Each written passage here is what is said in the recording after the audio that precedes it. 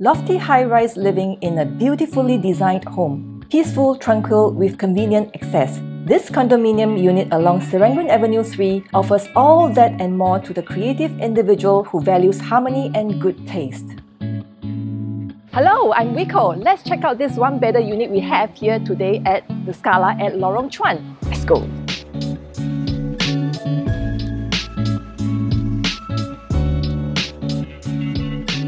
Now, entering this 474 square feet apartment, you will find that space is both functionally and stylishly optimized. The kitchen, dining and living areas are all in one fluid integrated space. The living area is cozy and comfortable with free access to unblocked views of greenery and architecture. Feel your body and mind unwinding as you enjoy the constant breeze at the balcony. According to Feng Shui, this unit number and the orientation that it is facing ushers in good fortune and prosperity.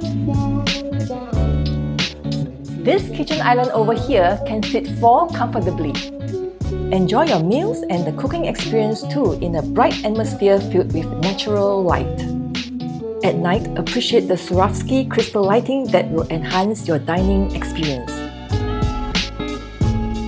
This master bedroom is another well-designed space. The cool grey colour scheme gives the room a clean look and helps to soften the brightness of the sunlight streaming in.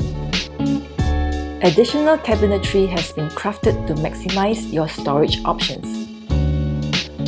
The wardrobe is integrated into the storeroom, resulting in no visible clutter. The ensuite bathroom is similarly designed and outfitted with premium finishings. The Scala at Lorong Chuan is an oasis amidst a quiet residential neighborhood. Take a walk along the landscape pathways, having a conversation at the outdoor pavilion, and swimming in the pool lined with palm trees.